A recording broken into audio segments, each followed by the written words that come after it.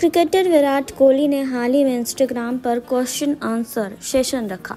इस दौरान फैंस ने उनसे कई सवाल पूछे और क्रिकेटर ने भी सभी के जवाब दिए। हालाँकि इस दौरान अनुष्का शर्मा ने भी क्रिकेटर के साथ मस्ती की। जी हाँ उन्होंने इस दौरान विराट से पूछा कि तुमने मेरे हेडफोन्स कहाँ रखे हैं? विराट ने भी अनुष्का के इस सवाल का जवाब दिया।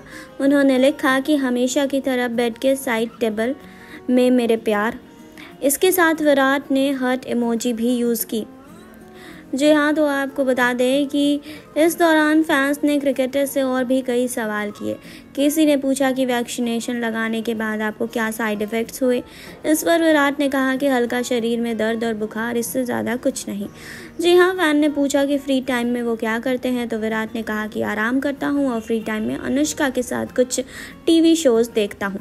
एक फ़ैन ने पूछा कि अपनी बेटी वामिका के नाम का क्या मतलब है? वो कैसी है और क्या हमें उनकी झलक देखने को मिलेगी।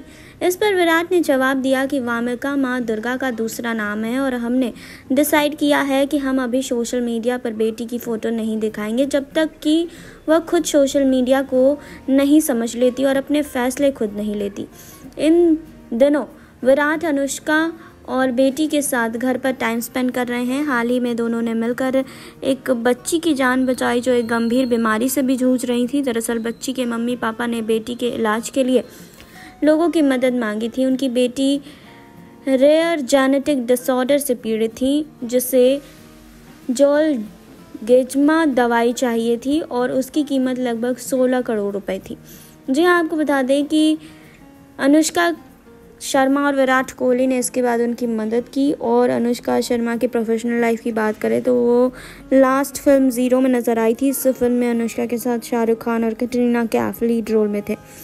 हालाँकि फ़िल्म बॉक्स ऑफ़िस पर फ्लॉप साबित हुई थी, इसके बाद अनुष्का ने नई फ़िल्म साइन नहीं की है।